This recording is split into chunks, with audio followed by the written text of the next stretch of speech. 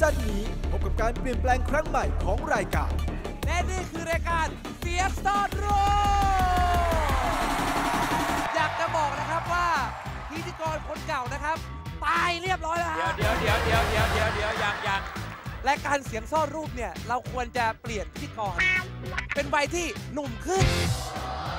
ปากหมาน้อยลงดีไหมเตรียมพาพร้อมกัน จันทร์ที่ 10 กุมภาพันธ์นี้2ทุ่ม5นาที